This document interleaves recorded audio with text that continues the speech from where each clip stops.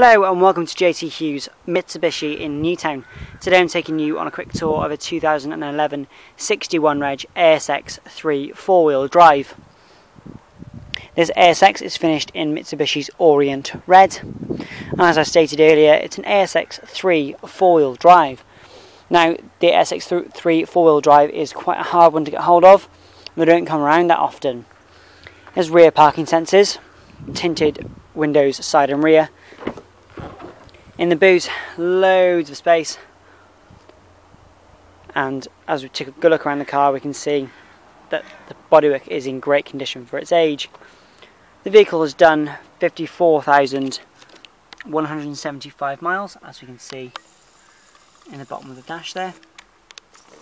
And taking a good look inside, lots of space on the interior as well. Jump quickly inside the back, we can see nice cloth stitched seats with a centre armrest with cup holders in it. Lots of legroom in the back. Headroom in this car is very, very good too. Into the front, same story here, loads of legroom, nice long sweeping dashboard with good visibility all round. The vehicle, as I said, has parking sensors and has Mitsubishi Active Stability Traction Control and it has an auto stop and go feature which means that the vehicle cuts out when you're stopped at traffic lights and at junctions.